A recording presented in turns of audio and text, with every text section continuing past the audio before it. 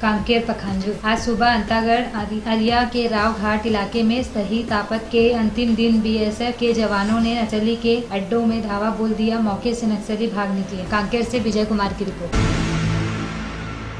रायपुर। मौका भी था और दस्तूर भी। इधर महज ढाई दिनों में ही छत्तीसगढ़ विधानसभा का मानसून सत्र समेट लिया गया। तो ठीक इसके दूसरे दिन बीजेपी विधायकों का सैर सपाटा का कार्यक्रम तय कर दिया गया। मुख्यमंत्री डॉक्टर रमन सिंह और विधानसभा अध्यक्ष गौरी शंकर अग्रवाल की अगुवाई में बीजेपी विधायक जंगल सफारी के रोमांचक सफ़र पर पहुँचे। जंगल सफारी में बीजेपी विधायकों के साथ सीएम, स्पीकर और मंत्रियों ने tiger safari, lion safari, crocodile park, हिरण सफारी का जायजा लिया। जंगल सफारी के रेस्टोरेंट में लंच किया। रायपुर से पंकज शर्मा की रिपोर्ट।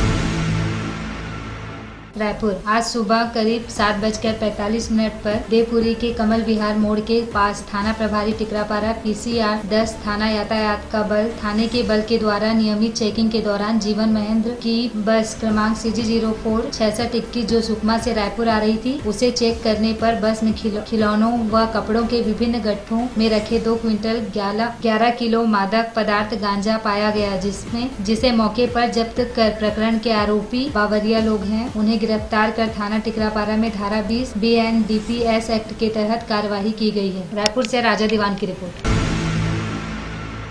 अम्बागढ़ चौकी। विकास खंड साले स्तरीय खेल स्पर्धा अम्बागढ़ चौकी में मज़ाक बनकर रह गई है। कभी मैदान में चुनने से लकीर नहीं डाली गई तो कभी प्रतियोगिता के समय खेल प्रभारी का उस जगह में न रहना तो कभी मैदान का पूरी तरह से तैयार न रहना। खेल स्पर्धा शुरू होने से पहले खेल कैलेंडर विकास खंड शिक्षा अधिकारी द्वारा जारी किया गया था। उस खेल कैलेंडर में जहाँ जहाँ खेल होना था और किस किस दिनांक को होना है, उसकी जानकारी उस कैलेंडर में बताई गई थी, लेकिन समय समय पर खेल कैलेंडर में बदलाव के कारण कई स्कूली प्राचार्यों को इसकी सूचना समय पर नहीं पहुँची। कई प्राचार्यों को तो इसकी सूचना ही नहीं दी गई। इस खेल प्रतियोगिता में नियम विरुद्ध और व्यवस्था के बारे में पूछने पर विकास खंड शिक्षा अधिकारी तो जवाब देने से बचते रहे कई प्राचार्यों को मोबाइल और व्हाट्सएप से जानकारी मिली भी, लेकिन उन्होंने अपने स्कूल के बच्चों को खेल स्पर्धा में भेजना मुनासिब नहीं समझा ऊपर में मैंने शिक्षा मंत्री केदार कश्यप जी से भी इस संबंध में चर्चा किया नीलू शर्मा जी, उनसे भी इस संबंध में चर्चा किया हूँ मैंने और माननीय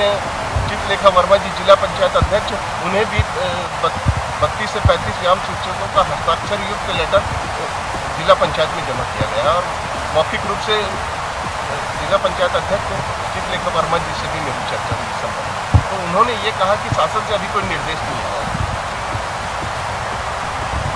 अम्बागढ़ चौकी से हार्दिक छाबड़ा की रिपोर्ट।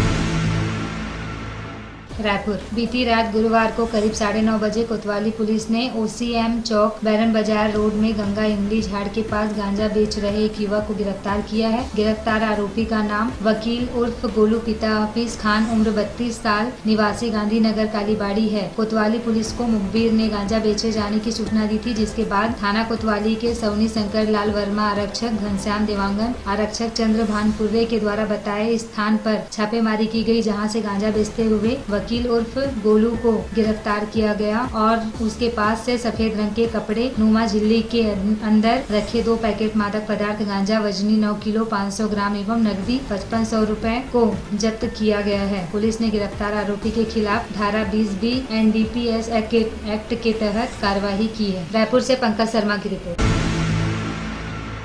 कोंडागांव। गुजरात में राहुल गांधी के काफिले पर पथरावबाजी के विरोध में कांग्रेसियों ने जलाया पुतला। प्रधानमंत्री के खिलाफ जमकर की नारेबाजी, कोंडागांव बस स्टैंड चौक पर जलाया पुतला। कोंडागांव से गोलू गिराम की रिपोर्ट। जगदलपुर। शहरी और ग्रामीण क्षेत्रों में हर दिन हो रहे सड़क हादसों को रोकने और सुप्रीम कोर्ट के नियमों का पालन करवाने के लिए यातायात पुलिस ने सिरहा सार भवन में ऑटो चालकों की पाठशाला आयोजित की, जिसमें ऑटो संघ के पदाधिकारियों के साथ ही करीब ढाई सौ ऑटो चालकों ने अपनी उपस्थिति दर्ज कराई। जगदलपुर ऐसी बास्की ठाकुर की रिपोर्ट। जगदलपुर। कांग्रेसियों ने किया नरेंद्र मोदी का पुतला दहन। राहुल गांधी पर हमले का विरोध प्रदर्शन करते हुए कांग्रेसियों ने प्रधानमंत्री नरेंद्र मोदी का पुतला दहन किया।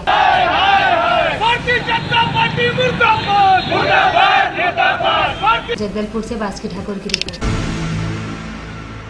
बलौदा बाज़ार कलेक्टर और छात्र छात्राओं द्वारा 250 फलदार एवं छायादार पौधों का रोपण किया गया। बलौदा बाज़ार मुख्यालय के पंडित लक्ष्मी नारायण तिवारी शासकीय उच्चतर माध्यमिक कन्याशाला तथा मनोहर दास वैष्णव शासकीय उच्चतर माध्यमिक विद्यालय के प्रांगण में कलेक्टर श्री राजेश सिंह राणा ने छात्र छात्राओं के साथ 250 फलदार एवं छायादार पौधों का रोपण किया। बलौदा बाज़ार ऐसी अखिल मानिकपुरी की रिपोर्ट। हम है आपका विश्वास।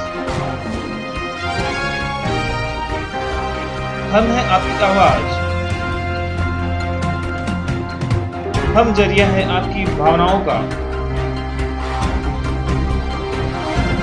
हम हैं आपका भरोसा। खबर से लेकर असर तक। हम दिखाते हैं बुरी खबर। हम है सी एन आई न्यूज़